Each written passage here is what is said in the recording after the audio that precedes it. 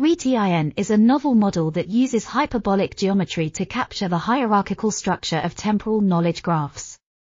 It takes into account both real-time and global features of the graph, allowing it to adapt to changing dynamics and inherent constraints. This makes it better suited than existing models for forecasting future events. Experimental results show that ReTIN outperforms other baseline models on several benchmark datasets. This article was authored by Yan Jia, Mengqi Lin, Ye Wang, and others.